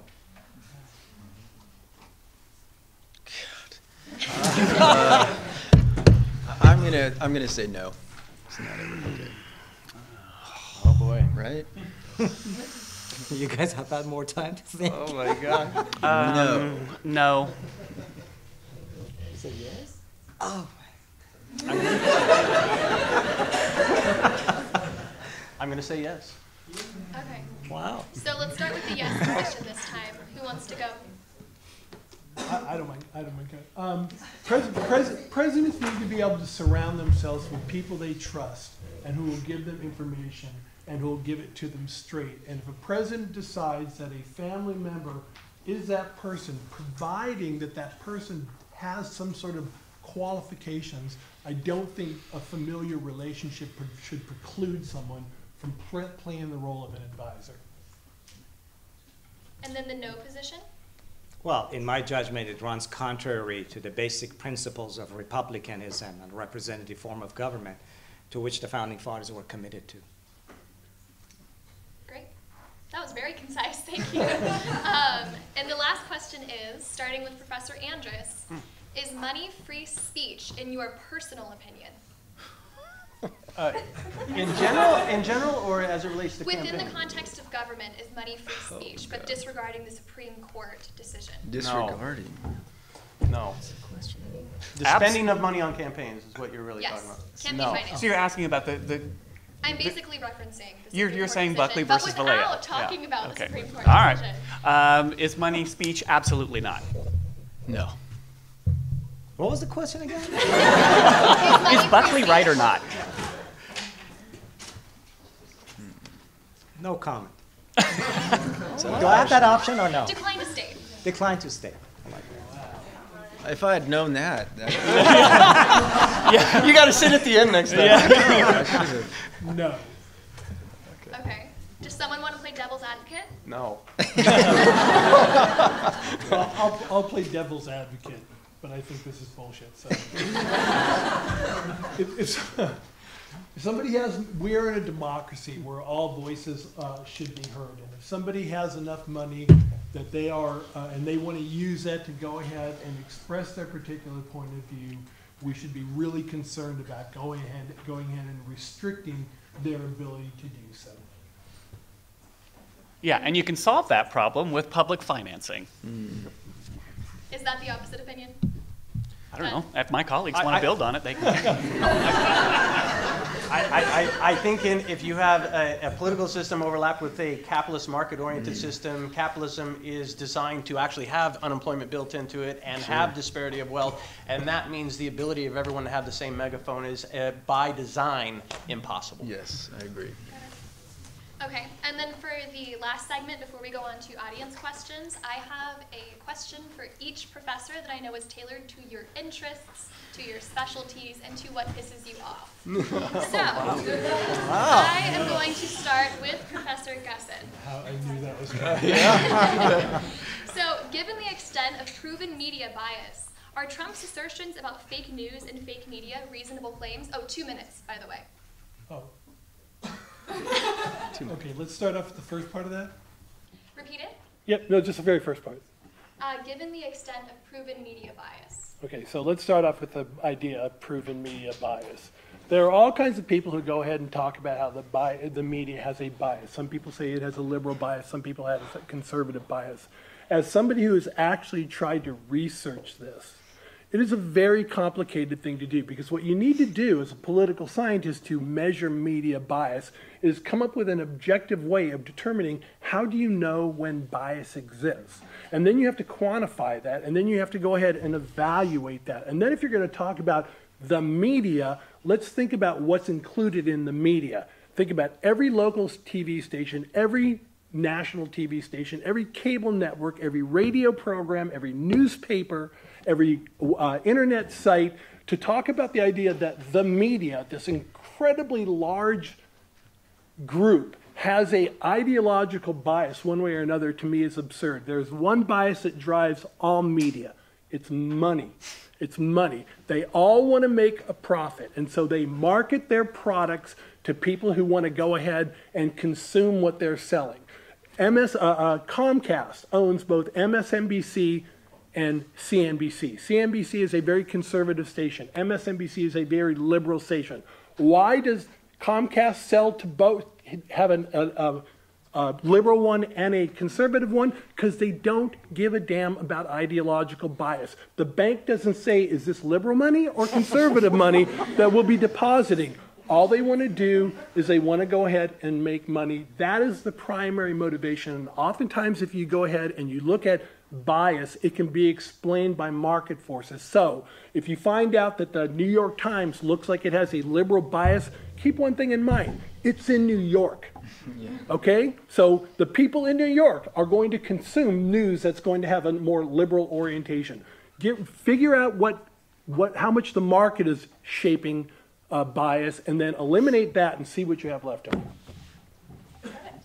There we go. That was two minutes on the dot. Boom. You're getting Model you in. Pay attention. There we go. Okay, um, moving to Dr. Morioni now. Um, he's a political theorist. P.S. He's the only one on the panel. So we previously in this debate discussed the cur- current issue of polarization, like how we're becoming very polarized within the American political system. How has political theory contributed to that, or is theory the solution? Well, obviously, theory is the solution. Thank you. No. Um, well, I, okay. So, so I, I think that that we're not really dealing with with political ideologies as they used to exist, and so I don't think that's what's really fueling this. I think. Um, what we're really looking at in terms of polarization is more um, it's not theoretical really. It's more it's more about people and their teams. People like i i want this team. It's you know do you do you want the dodgers or or or do you want the yankees? And you know who do you like better? And that that seems to be what we're looking at. It's not really ideological. I'd say if people did get a bit more theoretical and uh, actually read things uh, then, then, yeah, seriously, it won't kill you. So, um, so I think if people read more uh, and, and a wide variety of things, as I tell students all the time, go out of your way to read sources that you are pretty sure you will disagree with before you even start.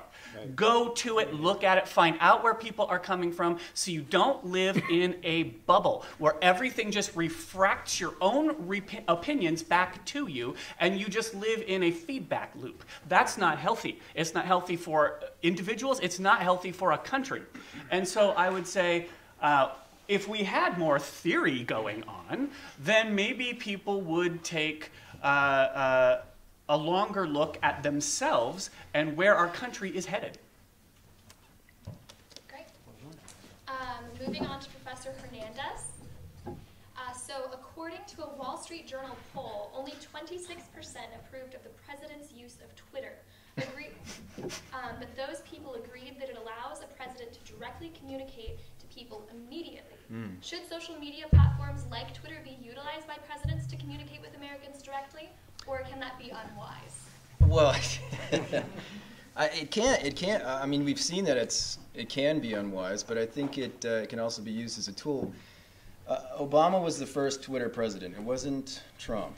The way that Trump has used it uh, is obviously different in that he, f- you know, he creates foreign policy in 150 characters. The way that true. The way the way that Obama used it was to tell young people to sign up for Obamacare. So it was a different sort of uh, method of communication that I think is is really important and is not going away. Um, certainly, the use of social media for consumption of information is is here to stay, and it will continue along this path. So. I, I think it is important, but yeah, you can't you can't formulate policy in that in that space. I mean, that is not again going back to nuances of diplomacy and, and policy making. You you can't use it that way. But I think it is. It, it, I mean, it's something like uh, sixty percent of eighteen to 25 year olds use social media to get their news. I mean, again, that, that is not going away. And at some point, you won't be 18 to 25 but you you will continue to use that those um, platforms. So it, it obviously it can be unwise uh, given our current situation, but I think it is a great considering how many people are out there tweeting and Snapchatting and whatnot. So Okay, now moving on to Dr. Mosley. Um, Boko Haram, a Nigerian Islamist group, is currently the deadliest terror group in the world.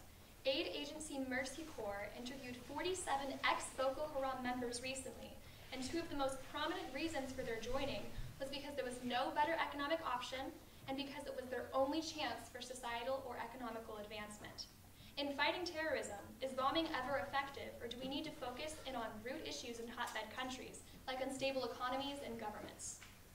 Um, I would uh, uh, certainly take uh, the position that uh, it's the responsibility of all governments and uh, major actors that are involved in uh, Uh, planning, uh, you know, economic policies to uh, bring about some degree of prosperity to those countries that are whose economies are meagerly developed. Uh, and certainly, uh, the economic conditions uh, certainly paved the way for certain groups or to start recruiting for political objectives, and they can use violence to achieve political objectives. certainly, many of these societies that we're talking about, Syria, Sudan, and, and, and, and Afghanistan, and many other countries, have been a recruiting ground for various uh, uh, terrorist organizations. And to that end, it is important uh, for uh, the, uh, the civilized world to take on a more active role in bringing about uh, some degree of prosperity and economic development to these countries to create greater opportunities for employment to avert situations in which uh, can produce uh, violence and, and become a recruiting ground for, for terrorist organizations. Look, in many parts of the world, unfortunately, uh, there is a situation, the economic conditions are such that uh, ha- have created a, a, a, a situation known as economic destitution. People have become economically destitute in many of these countries. Uh, and that, that, that, that is one of the reasons, I think the prime reason, that uh, they have been uh, turned into a recruiting ground for terrorist organizations. Uh, and certainly uh, that is something that, uh, that the nation states might be mindful of. And then finally, Professor Andrus. Um, many colleges have begun to uninvite controversial speakers like Ann Coulter and Milo Yiannopoulos and ban the use of certain offensive words on campus. Is the enforcement of political correctness on college campuses a violation of free speech and therefore the Constitution? Can can you just read the second part again? Is the enforcement of political correctness on college campuses a violation of free speech and therefore the Constitution? Yes.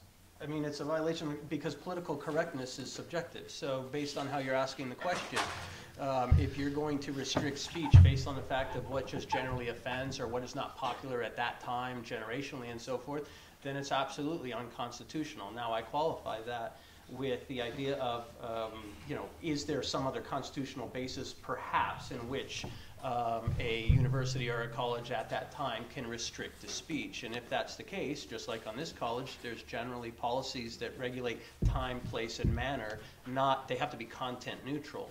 Um, but what you're referring to is not content neutral. You're talking about should people be restricted based on the potential result of their speech. And um, I absolutely think it's unconstitutional, especially if uh, the regulatory policy or what have you is so vaguely written that it allows uh, unfettered, you know, as we would say in law, um, decision making by the governing body to decide uh, what and what is not allowed to be said. I firmly believe that the way to combat dangerous, scary ideas is with other ideas.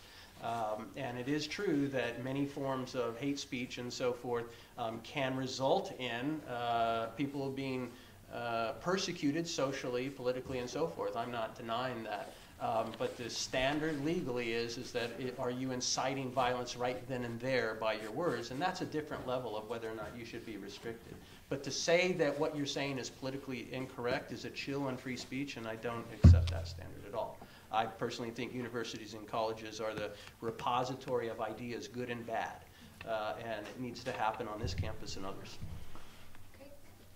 Okay. Okay, with that, we are going to move on to audience questions. So we have about 25 minutes for that, so I will start with you. Um, I would like to know if any or all of you can name any or think of any positive repercussions that can, that will come from Trump's presidency. So I know you guys all have a very critical opinion of him, So evidently. I, I, I- I'll, I'll jump in, and I am not a fan. Um, one of the things that happened when he got elected, and this is gonna be a sort of personal answer, is my wife like panicked. She was freaking out.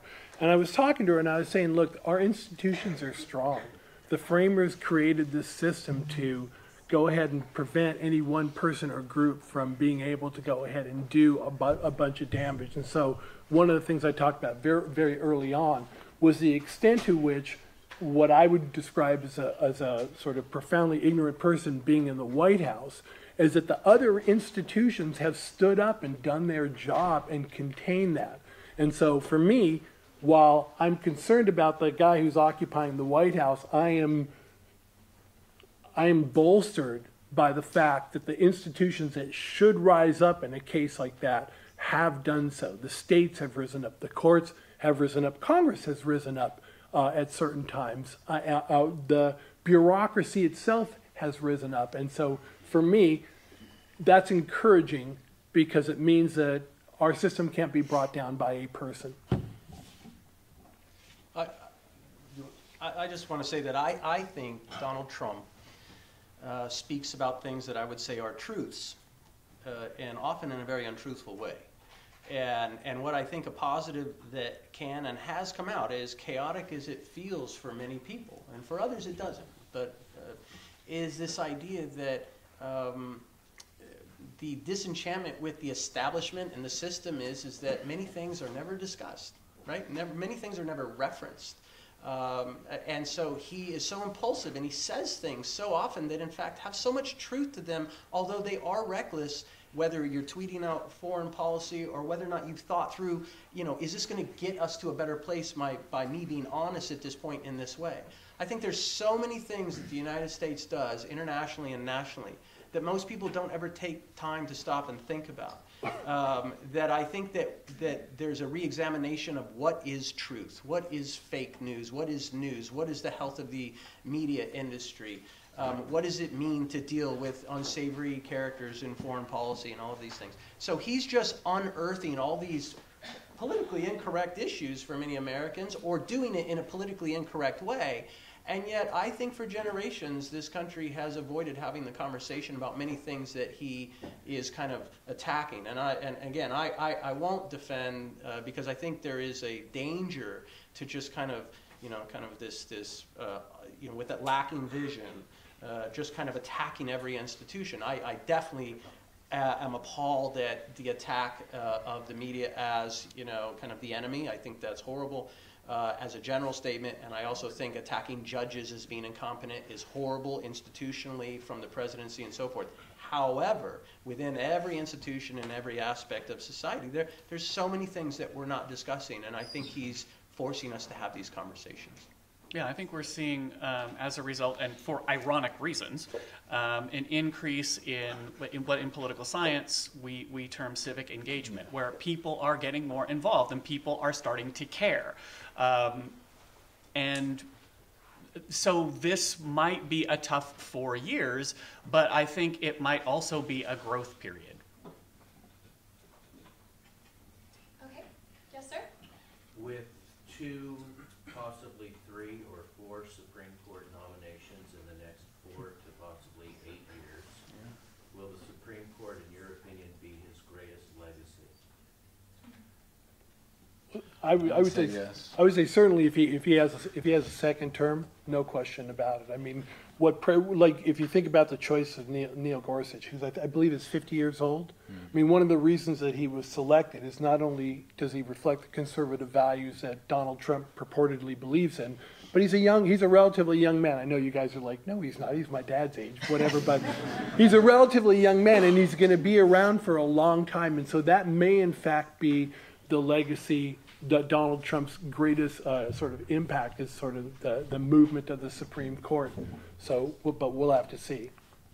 I think to what degree it's a legacy depends on um, who else is appointed, assuming that he does get that opportunity. Because uh, whether it's Merrick Garland as some type of political uh, kind of uh, maneuver, uh, whether it's keeping everyone on their toes by not going back to a more conservative justice, um, that it, it's not that it won't be a legacy, because I think George W. Bush left a legacy of Roberts and Alito, but I think it will be a legacy. But if he were to go back, and if anyone's familiar with the Federalist Society, and he were to go back to the Federalist Society as he did with Gorsuch and say, give me your short list and I'll keep working off that list, and then he cements three or four solidly conservative originalist and textualist and so forth um, uh, Supreme Court justices, then I think his legacy is much more solidified in the sense of what he did to, to uh, create a block, ide- ideological block. And as a theorist, we love irony. I would say that might also push people to start talking about term limits on Supreme Court justices again. 18 years, yeah, that's the proposal right now. Wow. Um, yes. So, um, as a Oh, Jim. Skeptical Trump supporter, very skeptical, maybe former Trump supporter, That's very skeptical. uh, his decision-making process, well, there's three major ones. Rational, and I don't see any legitimate cost-benefit analysis. Government procedure, I don't see any standard operating procedure that he's referencing. And, uh, and, uh, uh, government bureaucracy. I don't see him with any qualified candidates surrounding him, providing him with the information that he so much needs. So what do you think his decision-making process is? I think number four should be Ouija board. I'm going with the Ouija board. No, um, I actually think that he's like sort of it's something we've touched on, and, and, and you can maybe speak to this. I think he has, he's, he's a man supremely confident in his own abilities, right? Uh, even though he's, in my estimation, clearly not up to the task, but really confident in his own abilities. So his decision-making process seems to be a very singular thing. He listens to people, but ultimately he has such faith in his own ability to make these decisions that it's something that we don't really we haven't seen before because there you know we talk about a decision making process and it assumes that there's some rational steps that take place and i don't see that happening. It's sort of like he has this decision making thing that happens and almost and calling it a process um, uh, maybe giving it too much credit. Hopefully what's going to happen for people like yourself that that what he's going to do, eventually the, the group around him is going to grow and mature and provide him with the kind of guidance that he needs so that he can develop a process. But absent that, I think it's, it all seems to be very sort of gut based. That's my estimation. I, I, you know, business, you know, the art of the deal, his book, business is very bilateral, binary, and so forth. Business is vertical right? And government's horizontal. And what he's realizing, and he does realize, as much as he simplified everything on the campaign trail, this is so easy, this is so, you know, all this thing. There's nothing easy about it, even with his own party. And I think that he, he does realize this. There is some anecdotal uh, investigative journalism that suggests that the last person in the room is kind of the most who he's been influenced by because he's so impulsive in that way. Um, so I, I, don't think there's any, probably going to be any long-term decision-making process. Um, what I think is going to happen is, and I think when he's done with his presidency, I think the books that come out by his advisors are going to be a good read. And they are going to be, I think they are going to be a good read about how they, as established cost-benefit, rational actors, managed him. Mm. And I think what's happening around him right now is a group of people that meet regularly. I have a feeling that they communicate regularly on how best to create a system of, de- of decision making that you know that he can operate under that he feels comfortable reinforces his sense of self and yet makes them a little bit more in control of what the output is from him I, I really do think they're reacting to him and trying to figure out what, what they can structure for him. And, and I, I, just have a feeling there's a huge psychological component to dealing with someone who's so impulsive. And I say psychological, none of us are psychologists here, but I will say that there's been some interesting investigation going on about, uh, about his, his own his own tendencies. On the campaign trail, he would be on the other side of the country in his airplane late at night, and he would repetitively fly home to spend the night in his own bed in Mar-a-Lago, okay? Because he does not like spending the night in someone else's bed, right? He likes his, it's, it, it's true. I mean, this is what has been in, uh, kind of uh, reported, and that, that what does that say about a two-week foreign policy trip? And his ability to make decisions, uh, and if he feels like he's unnerved, and that he's quite lonely, that he's not surrounded by his family, which is great support to him. His wife's in New York with their kid. And, and so I think this decision making process is largely one of managing his own psychology. And I don't mean that in terms of identifying a condition or anything, just the reality of who he is and what his needs are. And on the heels of that, I would say he strikes me as um, Machiavelli says in The Prince of Emperor Maximilian, who it just depended on who was the last person he spoke with, and that is how he makes a decision. And I think that's why uh, there has been a strong effort by particularly Ivanka and her husband uh, to sideline O'Bannon uh, because, because he seems to be. Uh, the the kind of provocateur who gets some of these crazier ideas uh, floated out there. And so, and really quick, if I could, I agree with Dave that there are these, these groups who are trying to, to sort of shape his, his decision making. But I think when the books are written, we're going to find out that there were three or four competing groups. Oh, yeah, yeah. I think that's true too. Yeah. Okay, next question. Um, yes. Thank you. Uh, off of this question right here is decision-making process. That seems to be most problematic. You know, as I've looked at and I, I look at his uh, business dealing with the Taj Mahal in Atlantic City, and because of the hotel business, and uh, from the get-go, that was a program failure, in the way he purchased it and the way he ran it. And as we look at governance and politics and our approach from it at that point, shouldn't we kind of look more towards, this is a business deal for him. He sold the biggest business deal of his life by getting the presidency. And while he throws all this fluff out here about Civil War and behind the scenes, he has started his campaign for the next election. He has got thirteen million dollars in that, and that money is going into Trump Towers for rentals, and he plays golf in Mar-a-Lago, and there, and his kids are going to get, uh, he put out a tax plan here where there's no estate tax, and it's a big business deal. And the governance and all this fluff in front of him isn't what's really, what's going on. What's going on is he's making a fortune. Yeah, he is the first person to profit off of being president while in the White House. Um, and, and, you know, as a political scientist, I find that more than a little bit distasteful. But, but as an American citizen, it pisses me off that somebody is, you know, taking all these trips to Mar-a-Lago. I'm like, uh, you know, you could, that's why we have the White House, you know? Um, but, but I, I, I think that, I think there's a lot of truth in where you're coming from, that this is, it's, it, for him, it's always about what's the next deal. And if I've found a way to make money off this, I could, a reelection campaign would be great for me. I can make even more money if I can get, in, uh, get a second term. Um, but if I were him, I wouldn't uh, put money down on that. Well, I mean, also, he's got, the he, you know, he got trade, uh, his trademarks are in China now. Mhm. Yeah. His daughter's got trademarks there. These are worth a fortune. The Mm-hmm. New Yorker came out and said he had a business deal with the Iranian Revolutionary Guard, and they're trying to that out. And I mean, this is all business, and we're looking at it from a point of politics and governance, and that's, that's just the smokescreen. But I, I, I want to say, as it relates to conflict of interest, I think, you know, Phil was saying earlier that the institutions have shown how resilient they are and so forth.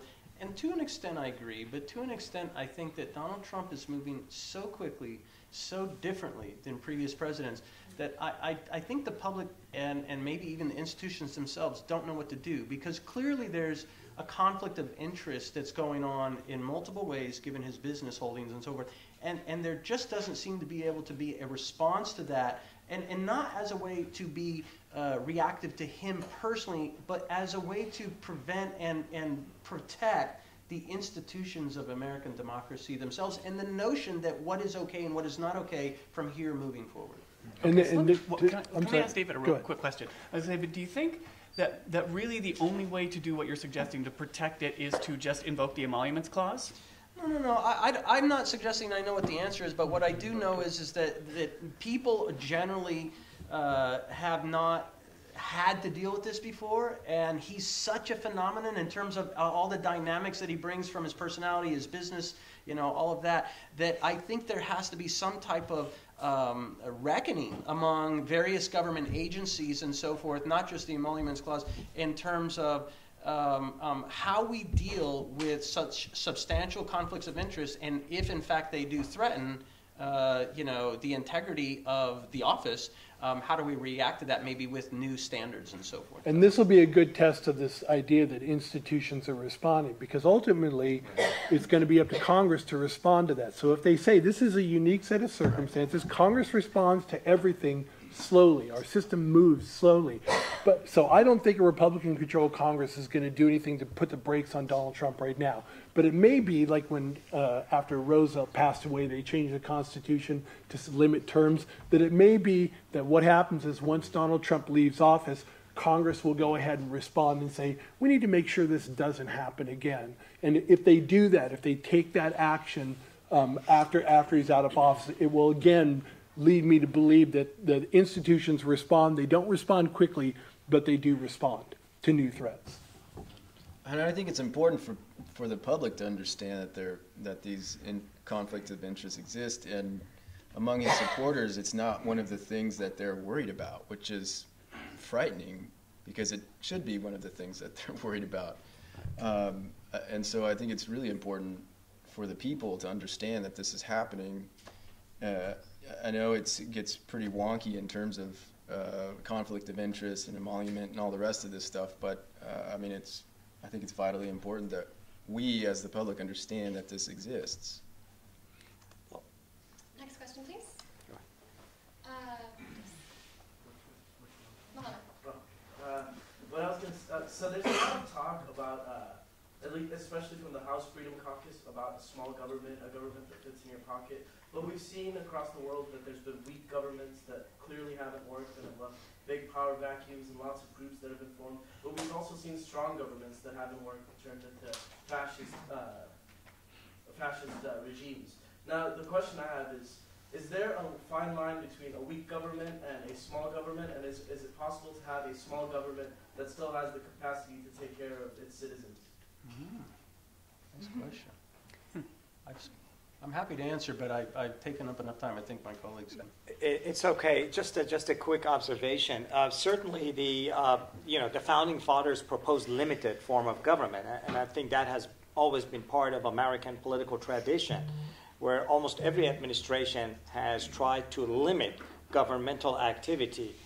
Uh, but certainly, there is a stark difference between having a weak government and a small government. Is that what you ask? A small or, Yeah. or weak government? Right. And is it possible for a small government to have the capacity to take care of its people and, Right. or to maintain its, uh, you know, power over its nation? Theoretically, you could have a small government, small governmental institutions, but they have to be run efficiently. And we do have uh, the capability, in my judgment, to run an effective uh, bureaucracy. Uh, and that is what some conservative political scientists have put forward. As a matter of fact, uh, there are plans underway to introduce a uh, form of federalism, uh, which they refer to as competitive federalism. And the purpose of competitive federalism to, is to embrace elements of privatization, uh, to make governmental bureaucracy more efficient. For example, you should expect a private agency providing the same services as the Internal Revenue Service in the next five to ten years. That could become a reality. Fire departments could become privatized. That's also a possibility. So there is that greater push toward privatization, which would ultimately make the government much more efficient. But the hope is to have small government, not necessarily a weak form of government. The, the idea of a, a small government is kind of connected to the idea of liberal democracy, right? That you have the government is out of your way and that there's these kind of individual freedoms that exist out there, and there's truth to that. But that's not going to exist because if you don't have a strong civil society, which are all the other non governmental kind of organizations that exist and support um, society outside of government, there has to be other institutional development that um, that that is sound, that is fair and equitable. You know, whether it's market-driven organizations or other organizations uh, in a society. Um, that that people that kind of reinforce the culture of ownership of decision making, even if it's not government decision making.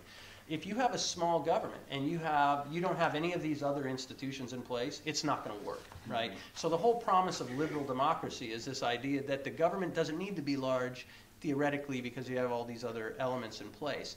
Um, it- you know, if, but if the, anyone thinks that the United States can have a very, very small government anymore, they're mistaken, right? Just because of the fact back to technology, 21st century demands the 300 plus million people, and, and that the demands that we as a country, a superpower, have taken on and assumed, whether you like that or not. And when you have this type of huge society, the only way to ensure that there isn't too much inequity that results in social strife and unrest is to make sure the government plays a role in that.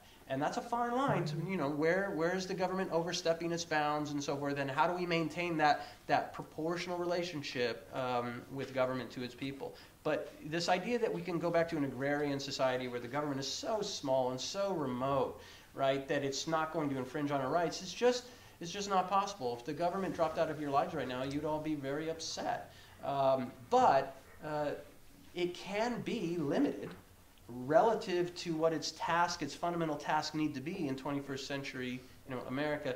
And it can work in the United States because there are other realms for and institutions. But if there aren't other institutions, a small government will always lead to chaos. Okay, and we have time for one final question, if you guys promise to be fairly brief. So, does anyone else have anything to ask? Um, yes. Okay. Uh, So my question is just um, with regard to the thing we were talking about earlier with mechanization and automation. Um, as a millennial, obviously it's concerning, you know, the amount of jobs that are, you're saying are Let's be end on an up note. Uh, so my question is just, as, because politicians inherently play the short-term game, right? It's just how many jobs can we have right now, even if they're not sustainable, so that I can look good, so that I can, you know, get reelected or whatever, right? And that's inherent. But what can politicians do, aside from just acknowledging that it's real, what can they do to prevent mechanization from taking more jobs away from Americans and people in the world?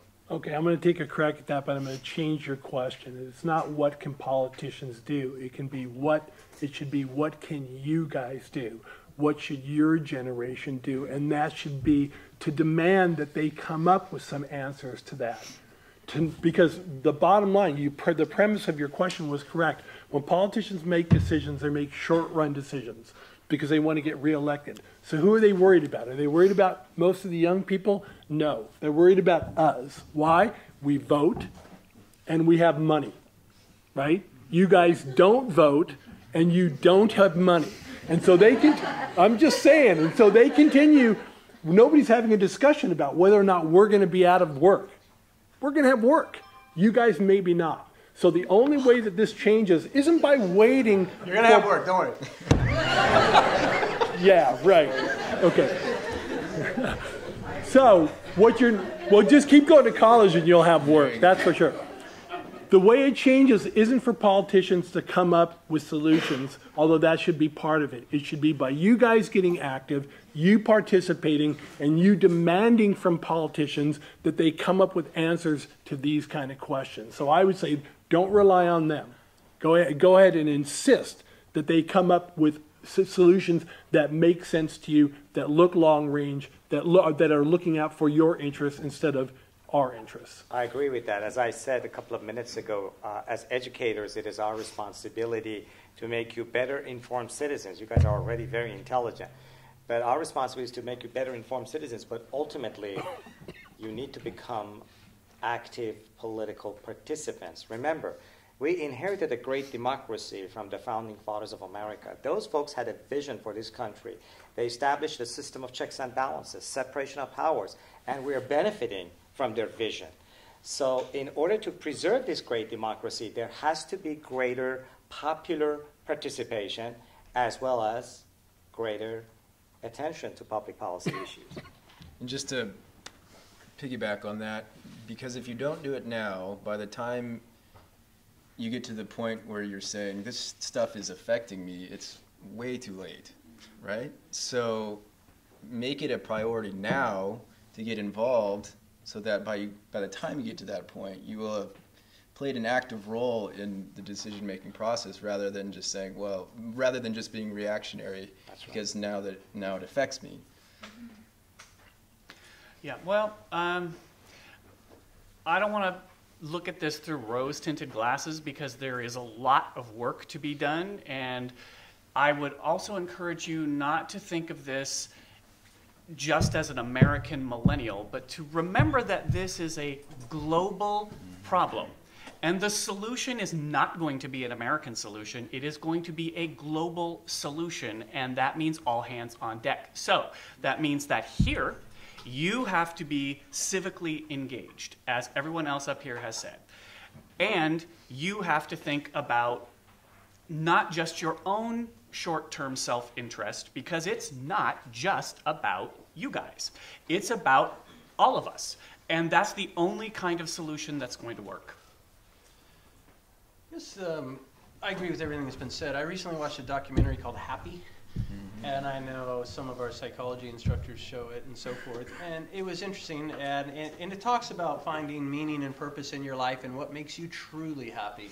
And one of the things that their studies had indicated was is that um, for the most part, um, being happy, truly fulfilled in a meaningful way, is connected to other people.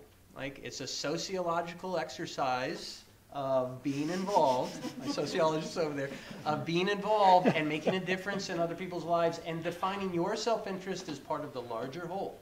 And that might, I'm not trying to, you know, uh, sound Pollyanna, but I think this idea of civic engagement and involvement through work and struggle comes meaning and enjoyment. Not always, but quite often. And I think this idea of the phones separate us um, in large part when we're sitting next to each other in restaurants just texting. And I think that if you find that you're working toward a sociological, which politics is sociological goal, and working with each other, you'll find great meaning in your life and you'll make improvements because i i- the solution is global and it is among all of you because the politicians, and we're back to public opinion, that you have to force upon them and you have to bring to them the ideas. Otherwise, they, you know, they might not have it themselves in large part. Well, I have one final announcement before we completely wrap up, um, because that is the end of the questions, unfortunately. But we are actually hosting a whole other event in two weeks in this same room. It is a political science game show. We currently have three contestants, although we are still open to applications if any of you are interested. But besides that, everyone and anyone is welcome to attend. Same room, same time, same people will be here most likely. It's a club So, event, right? It is Yeah. a club event. It is sponsored by the Political Science Club and I believe co-sponsored by Model UN. So just know that you are all invited to that. And then on top of that, I just want a round of applause for our wonderful.